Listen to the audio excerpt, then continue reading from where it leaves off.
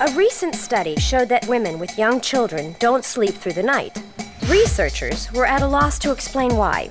They could have asked me. Taxi! Instead of sleeping, I do the list. Number one, Take Emily to school. I am just so jealous. You get to look nice all day. We just frump around at the park. number two, keep my head above water at work. Hey, are you running a little late this morning? I have two choices here.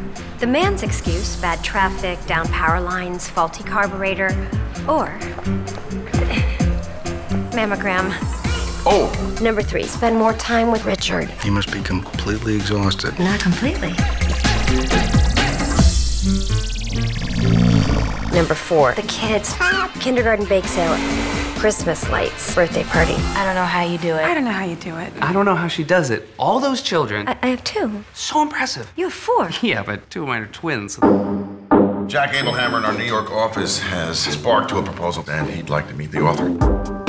Oh, God! Sorry. How long have you been there? Uh, long enough, but uh, go ahead if there's anything else you uh, need to adjust. This could be a big step up. Gives your kids a chance to spend all that extra quality time they've been hoping for.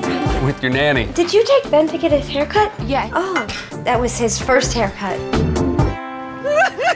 his First haircut, missing everything. Sorry. Everything okay? Yep. I just kept picturing little tiny bugs propelling out of my hair into his inbox.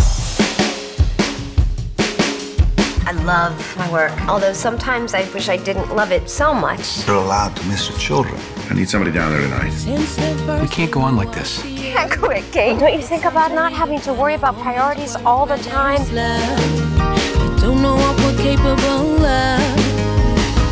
Me without that job isn't me, but also me without you and Ben and Emily is nothing.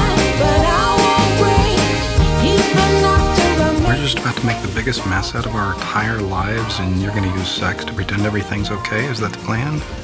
Yes. I like it.